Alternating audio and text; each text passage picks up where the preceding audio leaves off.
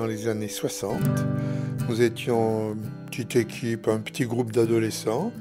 Et à cette époque, eh ben, il n'y avait pas les moyens de transport de maintenant. Il y avait les jeunes, on s'ennuyait finalement dans les rues, on traînait. Et petit à petit, on s'est dit, mais pourquoi on n'aurait pas une salle à nous? Et alors on ne trouvait pas, on ne trouvait pas. Et on avait un directeur d'école dans le quartier.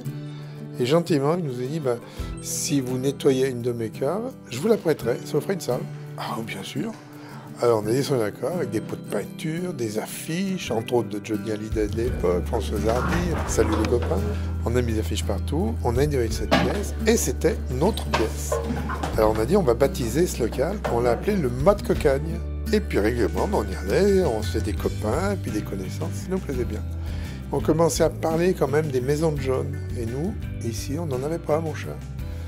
Alors on s'est pris par la main, on était voir le maire de Lyon, qui à l'époque s'appelait Louis Pradel, qui était bien à l'écoute des jeunes à l'époque. Il a étudié la question et il nous a proposé une maison d'habitation à la ville de Lyon. Et on était super contents d'avoir notre maison. Alors on a fait comme dans le, club de jeunes, on a peint, on a mis des affiches, et puis les copains, les copines du coin venaient. Alors, on avait une fille qui, elle, elle aimait beaucoup la danse, elle nous a appris à danser. On a appelé ça l'animation danse. Moi, j'étais un vendu de judo, alors j'ai créé la section de judo et on a commencé l'initiation du judo.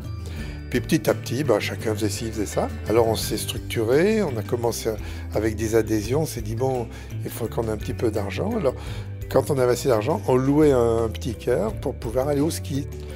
Alors ça s'est développé comme ça au fil des années, au fil des années. Jusqu'au jour, euh, moi j'ai été le premier malheureusement touché.